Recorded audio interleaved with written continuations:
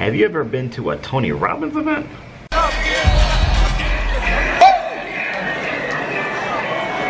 counting down, ladies and gentlemen. We're gonna get started pretty soon. Keep that energy up. I don't mind you dancing on your seats. I don't mind you dancing in the aisles. I don't mind you making new friends. If you've never been to a Tony Robbins event, I highly recommend it. It's actually a, an, an amazing experience. He really brings it uh, when he comes on stage. My name is Jonathan Pasley, and remember to like this video, share this video with somebody who you think can benefit from this video, and uh, subscribe to my channel. Now, this past March, I um, I attended an event, a marketing event, uh, where Tony Robbins was speaking. Uh, he he spoke for I think about like three three four hours, um, and it was amazing. It's a great a great experience, uh, and in his um, presentation uh, one of the things that really resonated with me was that he said most people, why they're unhappy, is that most people focus on what they don't have instead of what they do have. And he's all about like gratitude and, and giving thanks and things like that. And um, it resonated with me because um, most people, yeah, tend to focus on what we don't have. I do it sometimes, I'm sure you do it um, and you'll always not have something. So a, a, an example of this that came to mind uh, for me was uh, very recently my my wife she saw a um, a show on Facebook with uh, Jada Pinkett Smith, Will Smith's wife, um, you know, popular actor, musician, entertainer, and um, she was discussing how she was depressed because she was beginning to lose her hair. Losing her hair drove her into depression. Now, if you really take a step back and think, Jada Pinkett Smith, between her and her wife, I mean, between her and her husband, Will, Will Smith, they're worth like hundreds of millions of dollars, right? They could buy anything that they wanted to. Um, they've got kids, they're successful too as well I mean, they've, they've got a lot to be thankful for. And her hair, like she's a really nice looking person, nice looking woman. Um, she ages very well, but like her hair is what made her depressed, drove her into a depression. And focusing on that, on her hair loss, again, just a, prime example of what Tony Robbins was talking about. People focus on what they don't have, and even even still, if she has that issue, she's got all the money in the world to get surgery implants or hair implants to fix that problem. Like, I mean, you know, but again, despite the person, you can always be unhappy if you're focusing on what you don't have or if you're focusing on the negative. Um, it's just, it's so important. Even the Bible talks about it. Um, uh, Proverbs, I believe it's uh, like 20 23 7 i want to say yeah like proverbs 23 7 i believe. Um, i'll fact check that but proverbs 23 7 um, as a man thinketh so is he. So basically what you think you know it's going to come to fruition. I mean if, you, you're thinking negative you're thinking you can't do something if you you know think you can't overcome something you know you're probably going to um, achieve that you know. So your thoughts are very very very important and uh, in my particular journey, if you don't already know my story, at age 29, I was diagnosed with, with cancer just a couple of weeks from my 30th birthday. It, I mean, it completely flipped my world upside down. Um, you know, one day I just started throwing up nothing but blood. Come to find out there was a tumor that burst on my stomach. I was literally bleeding to death, right? And, um, you know, in finding out that I had cancer, and I was newly married, um, just had my my first son, my first child. At the time, he was less than two months old. Um, so it just again really rocked my world. Um, I'm a positive person, positive thinker, but you know when something like that hits you, you know, you know it's sometimes hard to think positive. Um, but um, some of the things that I really leaned on that helped me, that I hope helps you uh, Jeremiah 29:11. You'll probably hear me quote this scripture in probably every video because it, it really helped me. Um, and Jeremiah 20:11, it just talks about how God has a plan for me. God has a plan for you, um, and a plan for good, not disaster. A, a plan for a, a, future and a hope. And I really held on to that, the, the future, future part and hope. And He has a plan. Uh, you know, God's gonna get me through this. I'm gonna, I'm gonna get through cancer. And again, those first two years in battling cancer, very, very difficult. A lot of challenges. I learned a lot. I grew closer to God. Um, but I held on to Jeremiah 29:11, and I also began to think about instead of thinking of thinking negative in my situation, um, thinking the worst, I would think about the times that God saved me before in my life. Uh, one prime example, when I was like around 20, I was in a really bad car accident.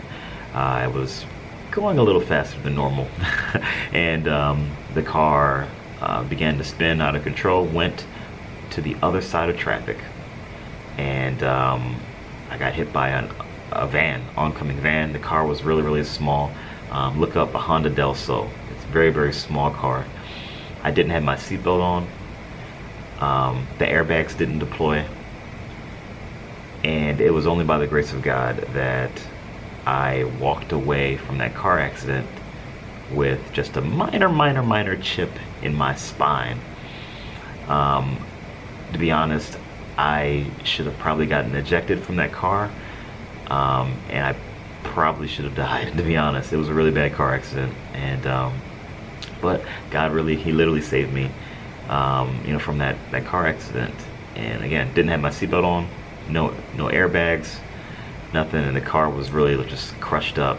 Um, I, I, thought of things like that. God saved me from that, and other instances too as well, where you know God could have taken me from this earth at that time. Um, same thing with cancer, because there's a lot of people who, when they get diagnosed, when they get diagnosed, they have maybe just a couple of days or a couple of weeks to live, and, and then that's it for them. Um, but um, you know, God spared my life, and I'm like, hey, I'm still here. If I'm still here now, God's got a plan, you know, and God's got a plan for me. God's gonna keep me. If I'm still here. Um, so I held on to that. So again, just thinking positive, thinking, thinking, um, you know, being grateful for what I do have at the moment. Um, and now, again, you, with Tony Robbins, just even solidifying this, just thinking about what I heard from him, focusing on gratitude. That's what I do every morning. And it's something, hey, practice yourself. Um, every morning I wake up, I take a walk, and I just, I thank God for three things that I'm grateful for. Waking up in the morning. Because when you get diagnosed with cancer, waking up in the morning, you don't take for granted anymore. you know, so thank God for that. Waking up in the morning and, and, and, you know, two to three other things that I'm grateful for that, that happened um, the day before. And literally, since I do that every single morning, I haven't had a bad day. Haven't had a bad day since. Um, to be honest, despite what the situation is, it always could be worse. And I'm just thankful to be alive. And, you know, just having that mindset, I'm much happier in life. Again, I haven't, haven't had a bad day since. Um, to uh, give you another example of how important mindset, your focus, what you focus on is. Have a friend, or had a friend, um, in high school I grew up with, and um, her fear was always to die early. She would always think of that. She'd always focus on that. Oh, I hope I don't die early. I hope I don't I die early. I hope I don't die at early age. In her mid twenties, she was diagnosed with cancer, just out of nowhere. Uh, was, I believe it was like cancer of her throat or her lungs. And uh, within a matter of weeks, she passed. And again, prior to that, she, for years, she always thought about, hey, I hope I don't die early. I hope I don't. She would focus on that. And what happened? She passed early. So, as a man thinketh, so is he. You know, so it's really, really important to really focus on what you're grateful for. Thank God for what you, what you do have, and focus on what you do have, because you'll always not have something. And if you focus on what you don't have, it'll make you unhappy. Something just came to mind. The first deception from the devil for man was for Adam and, Eve, right? The devil tricked Adam and Eve to focus on what they didn't have. Remember, God told Adam and Eve, "You can have, you can eat from any tree in the garden. You can do whatever you want in the garden. And like you, you reign over all the animals. Like you're." You manage everything here. You have everything at your disposal. It's the perfect weather. Everything was perfect. God said, "Hey, just don't eat from the tree in the middle, right? Don't don't eat from that one tree. Everything else you can have." And um, you know, the devil tricked them and said, "Hey, well, tricked them into focusing on the one thing that they didn't have, the one thing that they couldn't have. And in order for them to sin, right, and focus on that one thing they didn't have, in order to get to that tree, they had to pass all of the things that they did have. They had to pass all of the other trees, all of the other blessings that God gave them. They had to pass that and focus on the one thing that they didn't have. And look where it got them. you know, it cast them out of the Garden of Eden, Eden, and you know, basically, it it it, it screwed all of us, right? so, you know, um, you know, so yeah, that's just that's just an example. You know, um,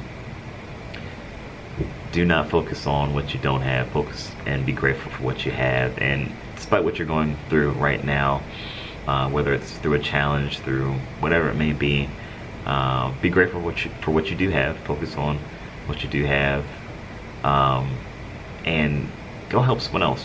Believe it or not, that's what I did through my cancer journey. Um, not don't focus on the challenge or the obstacle or what you don't have.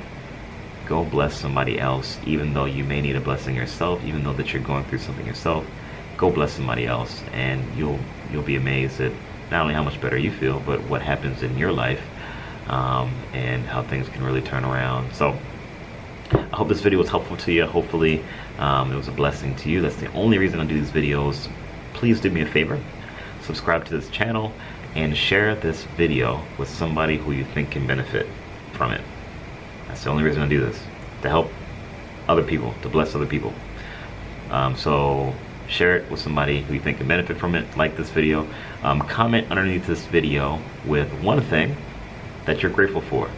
All right? Comment underneath this video. Put in the comments one thing that you're grateful for. If you are battling cancer, I started a Facebook support group, Christians Battling Cancer. Please join. We'd love to have you. We all um, encourage each other, pray for each other, um, just through the journey. It's an amazing group, a very impactful group that uh, not, as, not only has changed my life, but the ones uh, from but others too as well that are in the group. So again, uh, if you're battling cancer or you know someone who's battling cancer, please share this with them um, and tell them to join. Uh, go to www.cbc.support. www.cbc.support. All right, and uh, request to join. I'll go ahead and approve you. All right, well, again, see you on the next video.